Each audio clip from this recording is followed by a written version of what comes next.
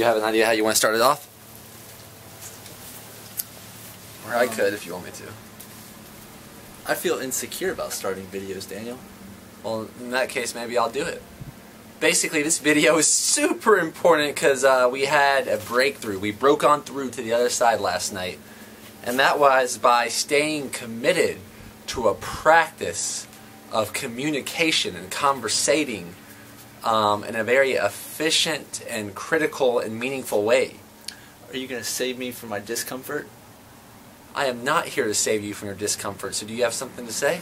Well, I thought you were going to let me start the video because I felt insecure about doing that. Well, that is a good reminder that what you feel the most insecure about, or what you feel the most uncomfortable about, is probably what you need to do the most. And that's what happened last night with our family. And we talked about a lot of things that most people thought they didn't want to talk about to find out it's what could potentially connect us the most. And I want to touch on an idea that I know we have a lot of fitness fanatics out there and a lot of people that watch us for fitness tips. That spiritually and emotionally and communication wise, you need to look at that practice just like you look at your fitness. Do you do you ever hear someone that is really in a high level of fitness say, "Yeah, I worked out last. Uh, I went to a I went to a fitness retreat last week, so I'm good for a few years." Have you ever heard anyone say that? Yes. Yes. Yes. No, I was actually so caught up in my own thoughts I had no idea what you just asked me. That's cool. You're cool. Uh, but my point is that communicating in a very meaningful and fun, comfortable way is not something you do once a year. Depending on if you want to get to the most advanced level of connecting, which I think deep in our hearts we all do want that. We have this brain in our chests known as the hearts that thrives on that empathetic connection that you need to practice it on a daily basis. And if you want to take it to an advanced level you need to practice in advanced ways. You need to make it a challenge and you need to really put some effort into it. And this is something that's going to be a lifelong practice. Just like if you want to do one arm handstands or one arm pull-ups or run a mile under five minutes that, that no one just says yeah I, I ran the other day so I'm, i can run a five minute mile now or I can run a four minute mile. No they put in days and days of effort what are you so happy about? I was just laughing. Um, I was like listening very carefully, just for a moment where I could sneak in a word or two. But you know, you're pretty good at uh, just those those continuous flows of thought. Sometimes I think you look at me over here and you're like, "Oh yeah, that's right. I forgot I had another person I'm shooting this video with." so what are you going to say other than talking about what you're going to talk about? Um, yeah, I was just going to say that you show me someone that loves comfortable conversations and likes uh, operating in that place, I'll show you someone that I find boring. Um, I really, I lately, I've really begin to enjoy uncomfortable conversations, and actually, the the more uncomfortable, the better. To the point where I'm like, where I start feeling like I want to leave the the area of the conversation. That's when I really know that we're on to something good. Is when I want to leave. and it's so funny when I'm just so glad that I've been able to recognize that as the mm. point of like the the real the, where the golden nuggets are stored. And uh, I actually haven't left the conversation, you know, but uh, yeah, it's uh, something that's come to my attention recently is that if I have a problem with someone, then most likely I am the problem. Um, and I and it's awesome to keep that idea in mind when you're experiencing anger with someone, and especially continuous anger, because you're like, wait a minute, okay, it takes two to tango here, and there's something, the, some way that I'm approaching this situation that I am just as big of con contribution to the problem as that other person is. So, next time you're experiencing anger, I want you to ask yourself, how am I the problem here? What? Why am I angry? Why am I angry, Timothy? Yeah, and then up until last night, I used to think, I, I might have thought that people were uninspiring or inspiring. And now I'm not sure if I believe that anymore. I believe that when I call someone uninspiring or I call someone inspiring, I'm actually talking about myself. Um, that I, if let's say our friend JP Sears, who hopefully we'll see in a few days, I'm inspired around him but I'm not necessarily uh, what I am. I'm inspired by the way I'm present with him, by the way I'm interacting with him. I'm inspired by how present I am. Whereas Joe Schmo over here, I might be like, he's so uninspiring. I don't want to be around him.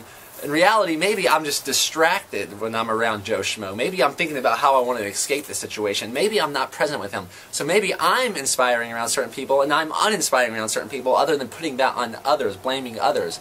And I do also want to touch on the idea, a lot of people, I hear this a lot because a lot of people try to put these practices into practice, into practice, practice, practice, that I am, uh, I, my person can't handle when I'm honest. No, let me, let me rephrase that for you. What you meant to say was, that you can't handle their reaction to you being honest. You want the truth? I can't handle the truth. oh, my nerve. a nerve that kind of went off there for a second. It's getting sensitive. I can handle the truth, but sometimes it's challenging. Yeah. Your subconscious might not know your jokes. Um, do you have something to say? Or I'm going to cut you off. Give me like five seconds. All right, let's give him five seconds.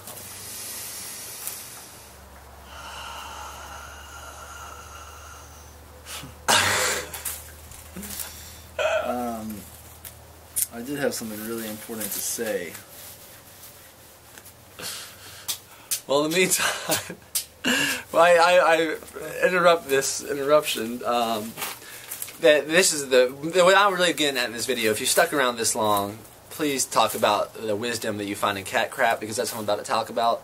Is that a lot of times we have a tendency when a cat poops in the house, and this is a metaphor, and maybe literally for some of us, that it's easier just to wipe it under a rug. Like, let's, I don't want to clean that cat crap up right now. Let me just put it on the, under the rug. And the cat crap's again like, oh, I'll just put it under the rug. And eventually, you're going to have to take care of that mess if you don't want your house stinking. There is another alternative. You can leave the house, also leave the conversation, and then what kind of low level of consciousness is that? Not one that you want to be a part of, obviously. Or you can burn the house down, aka get violent. Maybe you need to be like, you ain't going to listen to me? You ain't going to agree with me? No, I'm not. We're not advocating that. Those are two alternatives that are something that I personally don't want anything to do with violence and leaving. Do you? Yeah, I was actually thinking about that. There's when you're faced with a challenging conversation or social dynamic, you're not really the only way you can really be defeated is if you think that the best solution is to leave. Like you're dis- you're so uncomfortable that the best solution is to leave. Or get violent. What what kind of weakness yeah. is that? What kind of fear is that? that yeah. You're so scared of having a conversation or so scared to get into the point where you might have to agree to disagree yes. that you're going to have to get violent with someone. And you were or, talking about how like that's how wars. Yeah, yeah, I mean, it's a reach, but I'm a reacher, and it's a reach, but maybe that's what war is. Maybe it's like, you know what? I can't come to an agreement with this person, so I'm going to start brainwashing these children over here to uh, fight my battles for me. Heck, why do I even need to have, why do I need to have this fun, comfortable conversation? Let's just kill them. Yeah, yeah. I, which I don't advocate. Advocate. I'm giving that as an example of something not to do. I'm going to give you one tip that might change your life when it comes to dealing with social uh, dynamics or a conversation that you find challenging. Is to just say it there's many different things that could happen in that scenario. But if you, I'll tell you, there's one thing that I know, one way to get it wrong, and that is to have these thoughts and don't share them. To not share your opinion. Mm, that is your gift to the world. That is what you gotta do. The wisdom in this video that we're trying to convey to you is that it is crucial importance to share your truth regardless of other people's expectations. I am inviting that for you, and I hope everyone invites that for everyone, and I hope we can all agree to disagree if we can't agree. And my point of the cat crap metaphor was that eventually that cat crap is going to build up so much if you don't take care of it immediately. I would recommend taking right when the cat crap's clean it up real quick. But if you want to bury it and bury it, and you finally eventually have to clean it up, a lot of times people get confused that the cleanup is the problem. They're like, oh, this, I have to clean this cat crap up. This sucks. Why do I have to clean this up? This is the problem. No, the, pro- the problem wasn't. That's the solution. The solution of cleaning that crap, that is the solution to clean it up. It might not feel like it, but you, that's what you got to do to get rid of that stank. To have that clean house, to have that full body, to have that fullness of you, the completion of you. So clean up the cat crap immediately, and if it does get built up, still clean it up and realize that cleaning it up is not the problem, it's the solution. Have you ever gone into an argument or a, a conversation or a discussion being like, you know what, today I'm going to make up a bunch of lies to see if I can get in a fight? I sure hope not. These challenges are in there. They're there, there, and that person, there, and there, and that person. By discussing them, it's not like you're making, creating them. You're dealing with it. Are you? Do you have the courage to deal with it? That's right. Mm-hmm. Let me draw your attention to something else. Uh, when when someone is reactive towards something you say. Maybe you share your opinion to them, and they have a very strong reaction, and they begin to defend themselves very um, uh, aggressively. That probably means that there's some truth to your opinion. And let me tell you something about for yourself. When you defend yourself, you actually uh, what you're um, what is that saying? When you defend yourself, you're actually um, uh, what, what do you call it? Persecuting yourself.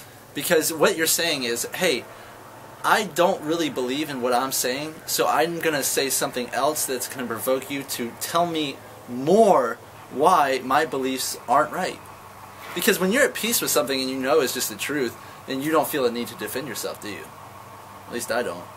So when you defend yourself, maybe you might want to reconsider, do I really believe, am I really uh, in strong belief of these ideas? Another thing that I've talked about in previous videos, the idea if you're really having a challenging conversation, when that cat crap seems like it's stuck to the rug, it ain't coming out, then maybe you can find a way to see if you can prove the other person right. And that might add a little empathy to the situation because we, beyond, we believe beyond layers and layers and layers of resentment and disagreement and whatever those other challenging emotions are, all that's left is a deep, divine, empathetic love stored in your heart field. I got close because the school buses. Speak of resentments, what's the, what's the most recent thing you've resented me for? The picture. Daniel, what's the thing you've resented me for most recently?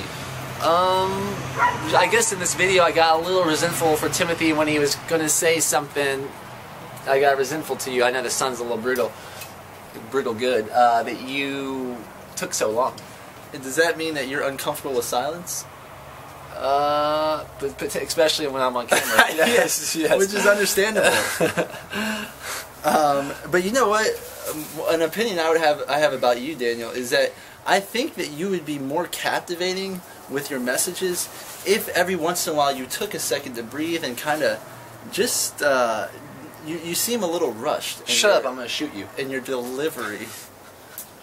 That wasn't. That's not how we typically joke with each other. I would say that was an inappropriate joke. That would be sarcasm. Sarcasm. Um, so you're saying that if I slowed my pace down, yeah, like it seems like you're in a rush. Like you're like you're saying things so fast that you imagine that I like it looks like you imagine that the listener is like getting ready to walk away any mm. second, and if you pause for the briefest moment, that they're going to be gone. So I, you have to spit everything out super fast. I feel that way with the YouTube audience. I, well, you might be right. I don't know. Am I right? Let us know. Thanks for sharing. What about you? What do you resent me for? Um, recently. I resent you for your. Um, I, I would have labeled it your obsession with circumcision lately, and it seems that like every uh, okay. stopping circumcision. Yeah, stop. it seems like most conversations we get into lately, especially with a, a new friend that we haven't seen in a while, you talk about like you want to talk about circumcision, and it's something that I'm not very much uh, informed on. I mean, of course, I know the basics about it. But he's gone in depth to studying this stuff and why it's a conspiracy. So, um, but what does that say about me? Maybe maybe my resentment towards you about. Uh, what is it called? Circumcision. Circumcision. Or actually, we'll call it, we'll call it male genital mutilation. male or just general mutilation. mutilation. Maybe my resentment reflects on me that I'm insecure about my lack of knowledge on the subject, and I I just am insecure about it, and I resent you for knowing so much about it. Mm. If you want that to be our next video subject, definitely let us know because that's something I'm starting to wonder about the conspiracy behind that and uh, the trauma that comes from that, the post-stress traumatic syndrome, uh, whatever. How, how do you say that acronym? The PTSD that comes from that being because I was snipped when I was uh, eight days old at a Jewish party they call it bris, and I wonder if there is any subconscious, implicit memories that are affecting my ability to empathize with others from that. You know, if you want change, you know what you know what they say, and by they I mean Brandon Hawk. You got to have an awareness, an acceptance, and action, and I feel like I'm on the action phase of that. I'm trying to take back my feeling sense. Thanks for uh, Daniel Vitalis' podcast for informing that. I love being surrounded by amazing people, even if it's on the internet. Yeah, I like. I appreciate what you're talking about there because you're, in a way, being the change that you want to see.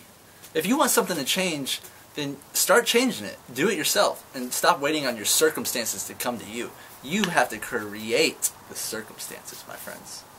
Yes, and I, I just love, I think what I'm really trying to drive home here is that if you are having a problem with someone else, or if you are not having fun, or you feel uninspired, and especially if you tell that about other people when they're not around, first of all, you're talking about yourself. Second of all, that you have to have the courage to share your truth with the people that you are triggered by their hmm. reflection. Do you have that courage? And if you don't, stop blaming others. Just like take a look in the mirror and be realize, like, you know what? I'm I'm so uninspiring around these people. Am I going to change something or not? Yeah, and the funny thing about that is oftentimes we hold our truths about or opinions about people because we're afraid of offending them, right?